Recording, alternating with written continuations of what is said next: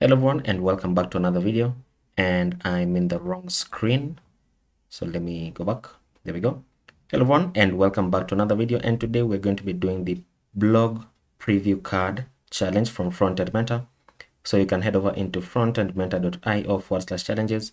You can click on this card and then you can click on the download button so that you can get the files and the assets required for this project once you download it, it is going to go into your downloads folder and in my case, it is in my downloads folder and it is called preview card main zip. So when you extract it, it is going to extract into this folder.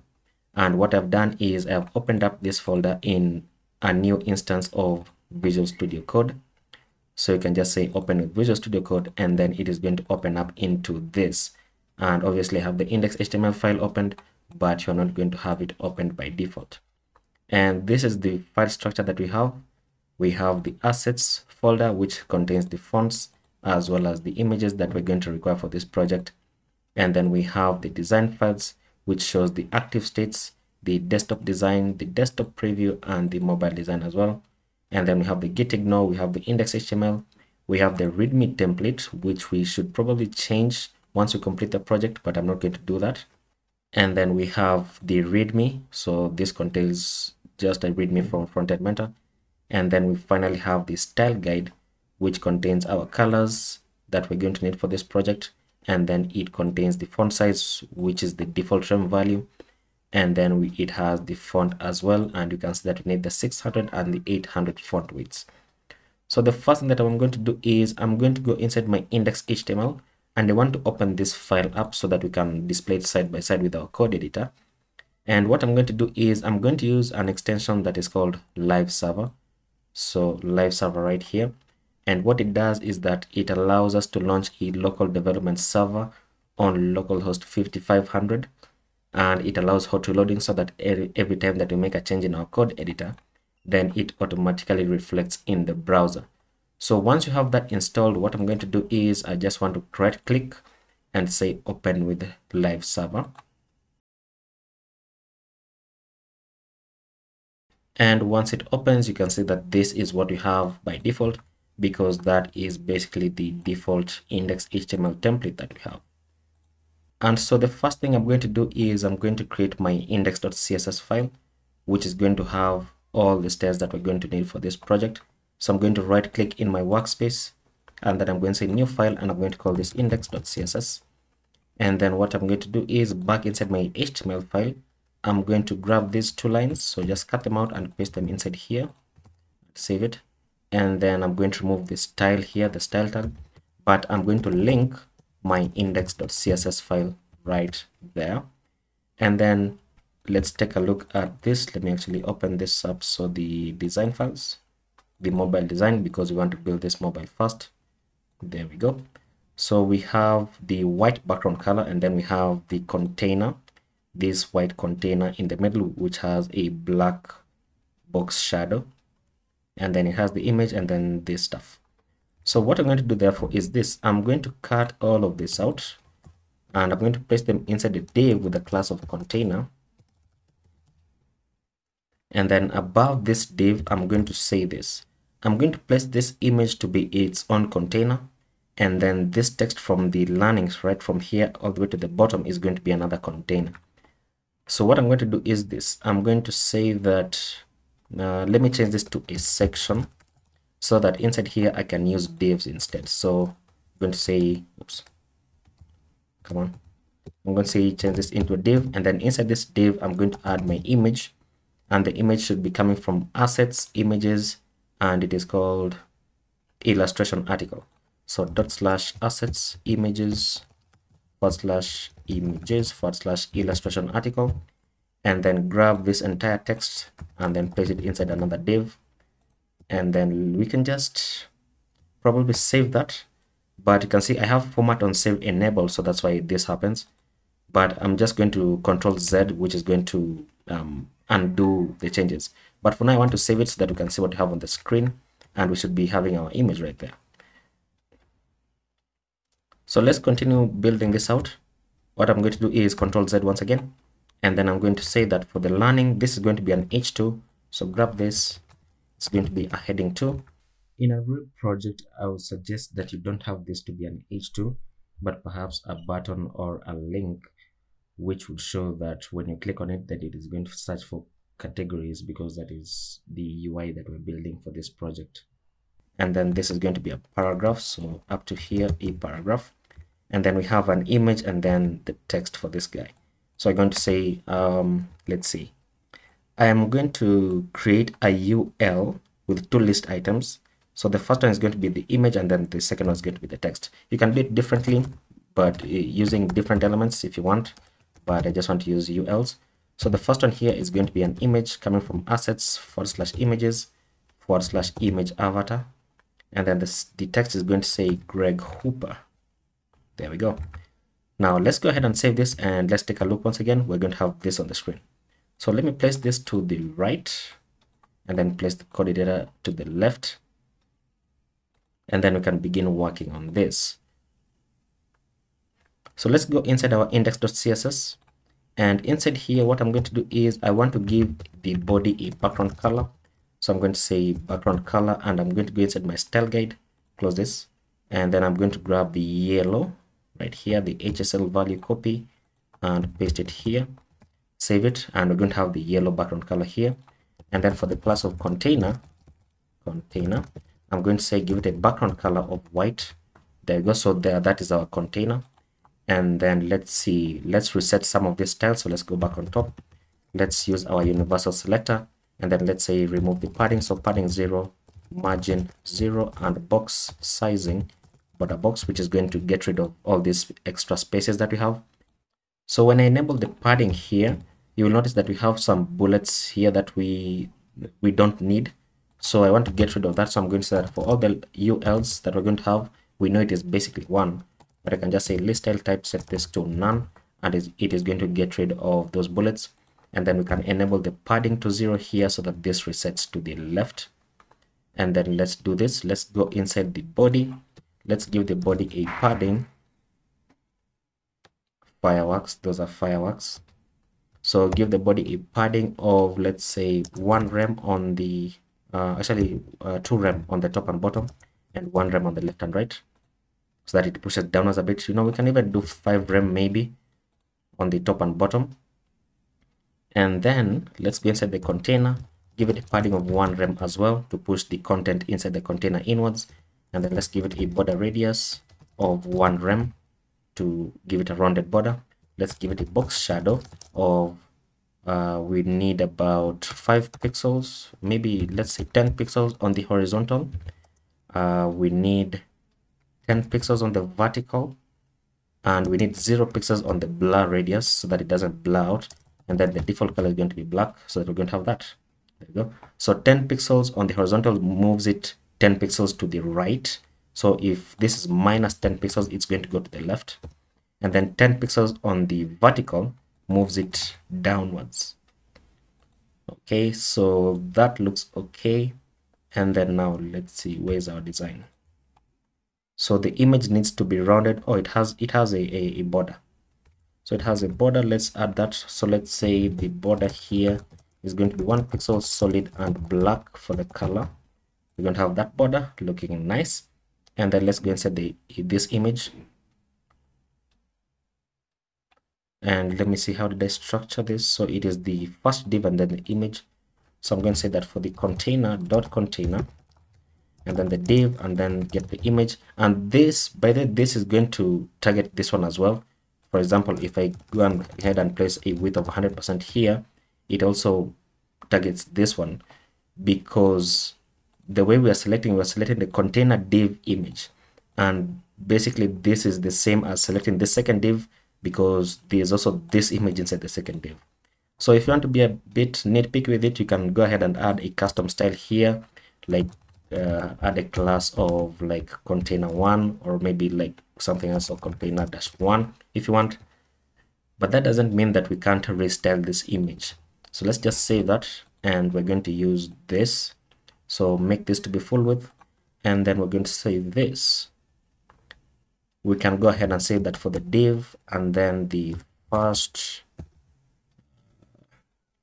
first child first child image so that it only it, it only select the, the it, it only selects the top image. Then let's give it a border radius of radius of one rem. There we go so that it is now rounded as well. And then let's go inside the container div and we want the second one so nth child 2 and then let's select the h2 and then let's give it a background color of hsl so the very same yellow which is going to give it this background color and then we're going to say display as an inline block so that it doesn't go all the way to the end. And then we're going to say change the font size to about one rem which is 16 pixels. We reduce it quite massively. Move this upwards a bit. And then let's give it a padding of 3 pixels on the top and bottom and 8 pixels on the left and right. That looks okay. Let's see. Yeah that looks okay. And then let's give it a slight border radius because it is slightly rounded so we're going to say give it a border dash radius of 3 pixels. Make it just slightly rounded. And then let's give it a you know what? Uh, let me bring this upwards. And then let's give it a margin. Let's see let's see. An equal margin. Maybe this margin is a bit bigger than this one. So let's give it a margin of 0.625 on the top 0 on the left and right and 0.5 rem on the bottom. Actually that's that's too too small too small. Let's say 1 rem on the top and bottom 0 on the left and right. Maybe maybe let's say 1.5 rem on the top 0 on the left and right and 1 rem on the bottom. And let's work with that. And then let's copy this and let's go inside. This is a paragraph. Oh you know what? If i try to style i wanted to style this paragraph but these styles that i'm going to apply here are going to apply to this second one as well. So for example if i change the font size to 2 rem it's going to change both uh, uh, the font size for the both paragraphs. So what i'm going to do is this. I'm going to give this one a custom class here and say published dash art. And then i'm going to say that for the paragraph that has a class of published there we go so that we don't uh, mess with the second one and you're not i probably should have done the opposite i probably should have done the opposite because I will need these tiles to apply over these ones. Hmm. And actually not, let me show you what I mean because uh, sometimes I do that. But let me go ahead and say, let's give this a margin bottom of one rem. And then we don't want font size of two rem, so we can remove this. And what's the color? What's the color here? It's black, okay? Now, let's go inside uh, this very same one so just copy this let's say that for the h1 we're going to give it a margin bottom of one rem as well how does this look that's okay font weight is bold so font weight is bold that can remain anyway because all headings are bold by default and then now we want to go ahead and style this second paragraph right so what i'm going to do is just copy this part because this is going to target the second paragraph as well but if I go ahead and say change the font size here to 2 rem, I don't know whether it's going to apply to this first one, but let's save it. Let's see. See that? It, it also applies to the first one. Now, the reason why that happens is because of CSS specificity. And it happens because these styles are located more to the bottom than these ones. So that would mean that if I grab this and place it above, then it still doesn't fix it. Or you know what? It, it, it doesn't fix it because this one doesn't have a style of of um what's it called? Of font size. So theoretically if I were to change the font size here to one rem and what would happen if I grab this from here and place it to the bottom is that nothing will change. And the reason why nothing changes is because we are specifying a style here that says that these styles are only going to apply for the paragraph that has a class of published at so that's why this happens. So let's remove this let's change this. We, we don't even need to change the font size here. And we don't need to change it here either. That was just a demonstration but we do need to change the color so change the color to hashtag ec ec ec which is a very slight gray. Okay a very unreadable gray. So let's say 999 um hmm, no that doesn't uh, look nice. So let's say uh, let's say what? What is a gray color? Let me do 555 that looks okay. And you know what i just realized? It also changed the color for this one so probably we should just specify the color here to black that it doesn't affect the color on the top one. There we go.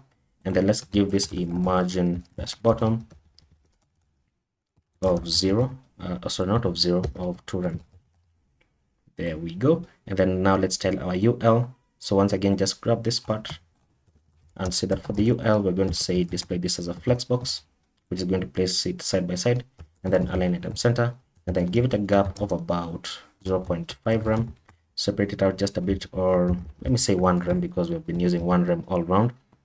And then i want to get the text here and we know that the text is the second list item. So nth child 2 and we're going to change the font weight to bold which is going to make it bold and then change the font size to one rem because by default um, I, I think so. I think by default it is oh you know what? I'm zoomed out. I'm zoomed out yes that's why that's why it was looking quite small. I'm zoomed out. Okay. Now once we have that uh, that's our entire container for mobile now we just need to add our attribution. So right here where is it? Right here. I'm going to change this into my website. So tsb sankara dot netlify dot app because I forgot to renew my website name. So let's see that. Let's save it and then in the attribution we're going to change this color to white. So white uh, sorry that's the wrong color. Should be here. So color white. Uh, come on. There we go. And then change the font size to 16 pixels. And then let's give it a margin on the top. So margin top of 2 rem. Push it down a bit. There we go. Maybe 14 pixels make it a bit smaller. That looks fine now we need to scale this up because as you can see it looks quite horrible on on desktop. So what we're going to do is right on our container right around on the top here we're going to give it a max width of let me say 500 pixels which is going to limit our container massively but we want to push it to the center. So we're going to give it a margin inline inline of auto meaning margin on the left and right of auto and it places an equal margin on the left and on the right and it pushes our container to the center. And then once we have that uh oh, wait a minute. That is a com complete project? How does it look on desktop? Oh well uh, we didn't even need to add a a media query. Oh but this has a hover state. So our heading one has a hover state. So let's fix that with our heading one right here. Copy this. And right below this let's say that on hover we want to change the color to our yellow color right there. Save it so that now when it hovers and it should have a cursor of pointer. Cursor pointer. Because uh, the way I'm looking at this it seems as though that this is supposed to be a link that links to somewhere but we don't have anywhere that it, it's linking to for this project. So we can just have it as that. That looks okay. Now let's change our font. So if you go into the assets folder, you can see that we are provided with our fonts here. So what we're going to do is, if I remember how to use font face, um, hmm, I can't remember how to use font face, so let's just do a bit of Googling. So font face, okay, there we go. Font face right here. So what we need to do is we need to define the font. So you know what, let's just copy this. Let's go into our index CSS. Let's go to the top right below this so font face, we need a font family called Figtree. Okay, so the source is going to be, uh, hmm. come on, come on. The source is going to be the URL. Sorry, the URL is going to be Figtree dash italic dash. What's the difference? Variable font, variable font. Oh, we don't want the italic. variable font underscore wght uh, dot ttf so true type font. And we don't need these two i think. We don't need them too hmm. We don't need that either. I hope so. Man maybe maybe maybe not. So let's change this to Figtree. Let's save it. Okay and then what we're going to do is on the body we're going to specify a font family called Figtree. Let's save it. Does that work? Let's see. No it doesn't. Should it have oops. Should it have the quotes? Okay so let me just figure this out. Give me a moment okay so i figured it out. So what i need to do is we need to define the font family called Figtree which is the name of our font family. And then we define the source property here. We are saying that the local eh, we're getting a local font and we define these two local fonts. So let me spread this out right there. And we're going to get that. So those are two local fonts and not because this is basically the same value as the top one so we can remove this one and then we specify a url for the actual font which is which has the extension that we want. So that is a TrueType font or an OTF font but we don't have an OTF font. Inside here we only have TrueType fonts. And then once we do that we go into our body and we say that we want the body to have a font family or whatever we defined inside here. And once we save that you can see that the changes apply on our application now one thing that i noticed is that we have a scroll bar here and i just remember that uh, my screen is a bit small but if you were to scroll if you were to have if you were to view this on a bigger screen what would happen is this would be placed on top as you can see. We don't want that to happen. So we actually need to add a media query here and we need to remove this padding. So this padding of 5 rem on the body.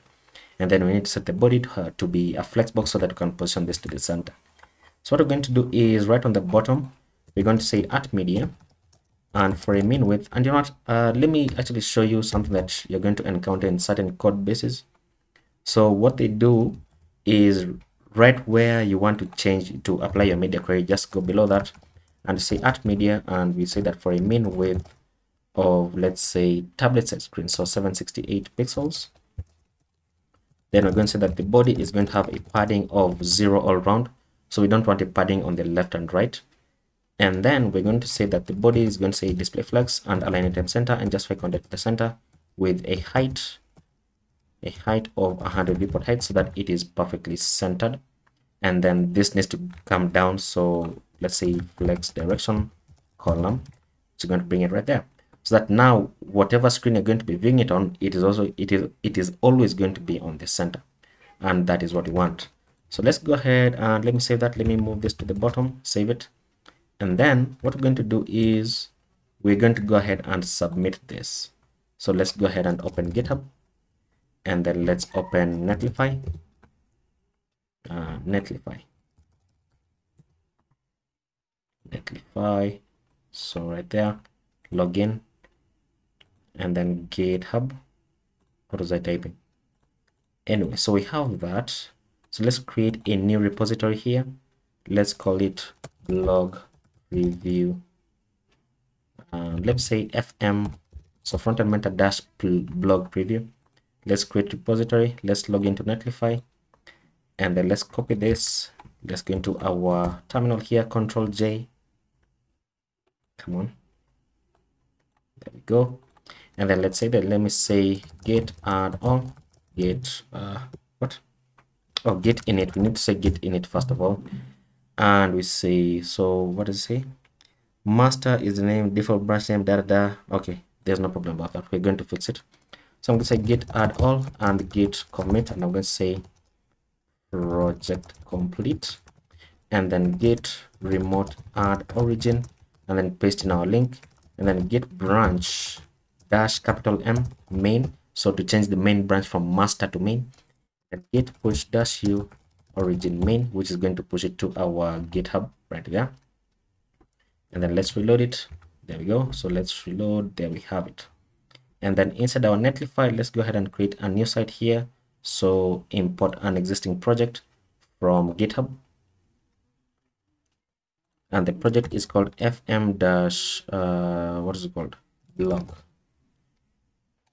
so there we go. So let's go ahead and click on this and then let's say we want to deploy the main branch and these others can remain uh, the default values and then deploy our blog. So deploying deploying just need to wait a few moments and then let's go into site configuration. Let's change our site name. So let me say tsb sankara dash blog dash preview. Save that. And then we should have it. There we go. So now we have our blog preview right there. So what we need to do is we need to copy this link and then inside front-end mentor. We're going to go into the challenge hub and then we're going to say with the submit so submit solution. And then the live site url is what we've just copied and then the repository url is this one. So and then we're going to say mobile mobile first dash um what's it called? Blog preview component in vanilla html and css and uh, css there we go. So that is going to be it. So submit solution. And if you would want me to do this same challenge using tailwind css all you need to do is just leave a comment down below and i will do it. So that is going to be the end of the video. And if you enjoyed it then please leave a like and subscribe to the channel if you're not already. And i will see you in the next video. Bye bye